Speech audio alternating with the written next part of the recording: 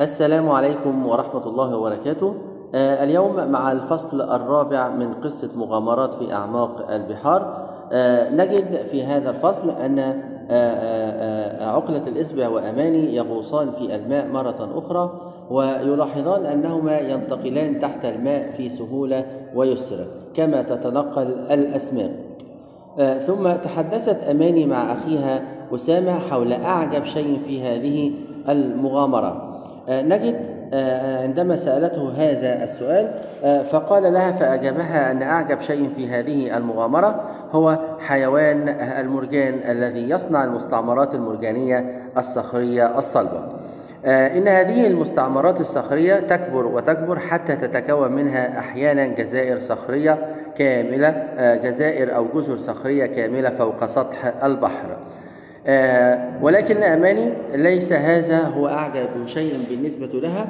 آه، فقال لها أنها أن سمكة أبو سيف وسمكة أبو منشار هما أعجب شيء في هذه المغامرة. ولكن أيضا آه، ليس هذا هو أعجب شيء في هذه المغامرة.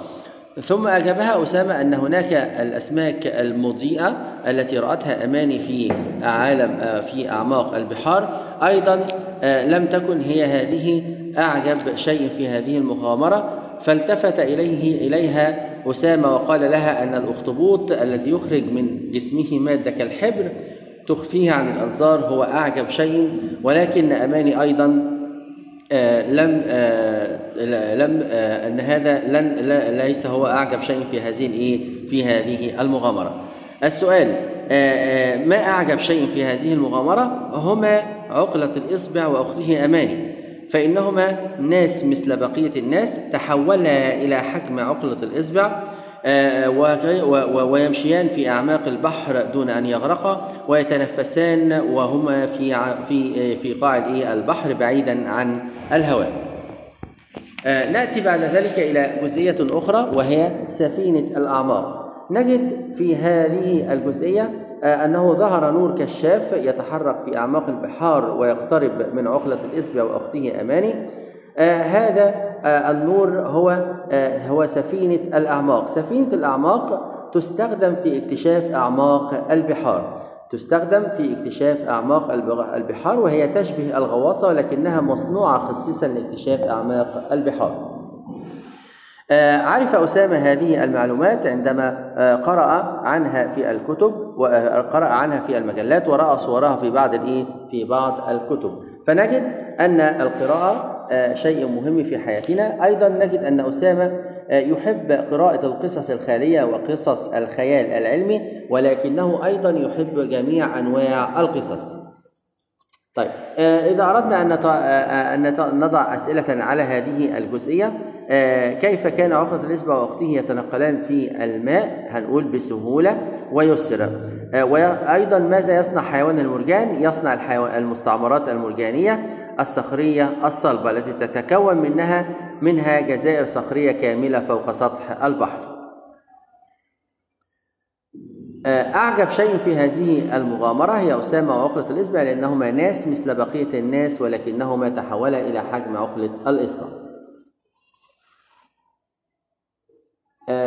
نأتي إلى آه، آه، الفقرة الأخرى أسئلة عليها. آه، ما الذي ظهر في قاع البحر واقترب من عقلة الإصبع وأخته أماني؟ وما مصدره؟ هو النور كشاف قوي وكان مصدره سفينة الأعماق. فيما تستخدم سفينة الأعماق؟ تستخدم في اكتشاف أعماق البحار. آه، نظر آه، آه، آه، بعد ذلك نجد أن سفينة الأعماق أخذت تهبط إلى أسفل ولاحظت أماني أن الماء يزداد برودة وأن الظلام يشتد كلما زاد الهبوط في الأعماق. بعد ذلك أضاءت سفينة الأعماق ثلاث أنوار ثلاثة ثلاثة أنوار كشافة قوية متجهة إلى أسفل فرأى عقلة الإصبع وأخته أماني قاع البحر واضحا تماما. آه نجد أن أسامة وعقلة الإصبع آه عقلة الإصبع وأخته أماني أيضا رأى عجائب وغرائب في هذا في البحار في أعماق البحار فرأى أسماكا عجيبة بعضها يرسل أنوار ملونة كالتي سبق أن رأتها أماني. أيضا رأى بعض الأسماك لها عيون ضخمة تتحرك في مختلف الاتجاهات وبعضها له أسنان كبيرة طويلة لدرجة أن السمكة لا تستطيع أن تغلق فمها الواسع الكبير. نجد أن عقلة الإصبع أيضا شاهد بقايا سفينة غارقة غاص جزءا كبيرا منها في القاع ثم رأى أيضا أو شاهد جبلا ظاهرا في قاع البحر ولكن تغطيه كله المياه. بعد ذلك نجد أن عقلة الإصبع نظر إلى أخته أماني فوجدها مشغولة بالنظر آه، آه، بالنظر إلى هذا العالم العجيب. فرأى في في داخل سفينة الأعماق بعض الرجال المنهمكين في العمل. كان أحد هؤلاء الرجال يقف خلف آلة أو وراء آلة تصوير سينمائي تلتقط فيلما كاملا عن عجائب البحار في عن العجائب في أعماق البحار. أسامة يرى منظرا عجيبا آه، جعله أو جعل الكلمات تقف في فمه وهو آه، رأى سمكة سوداء. هذه السمكة لها رأس مخيف وأسنان كبيرة.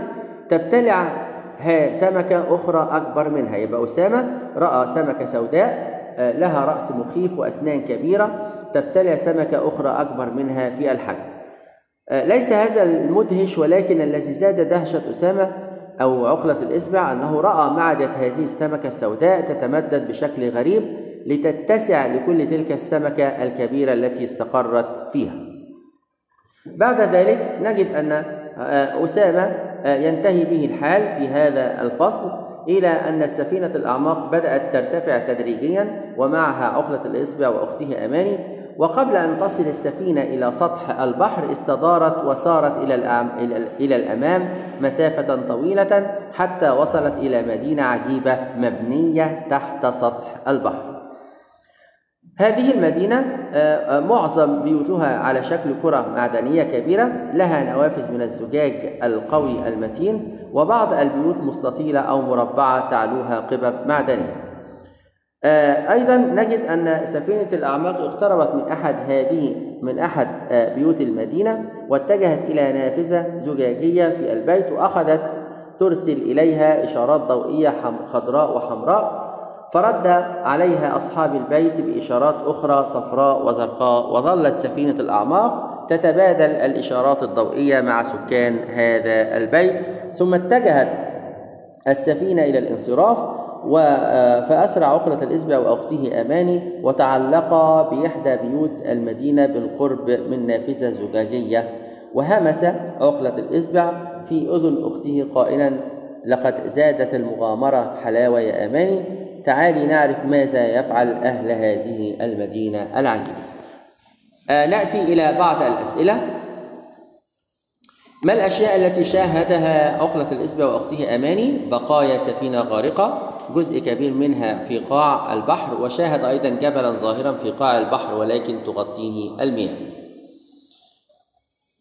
ماذا رأى أسامة عندما نظر من النافذة الزجاجية؟ بعض الرجال داخل سفينة الأعماق منهمكين في العمل وأحدهم يقف خلف آلة تصوير سينمائي ما المنظر العجيب الذي رآه عقلة الإصبع وجعل الكلمات تقف في فمه؟ سمكة سوداء لها رأس مخيف وأسنان كبيرة تبتلع سمكة أخرى أكبر منها في الحجم. وازدادت دهشته عندما رأى معدة هذه السمكة تتمدد بشكل غريب لتتسع لتتسع لتلك السمكة الكبيرة التي استقرت فيها.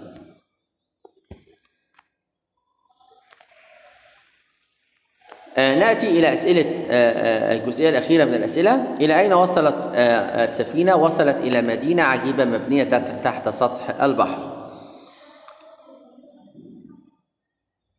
وإلى هنا نكون قد قد أنهينا هذا الفصل وإلى لقاء آخر والسلام عليكم ورحمة الله وبركاته.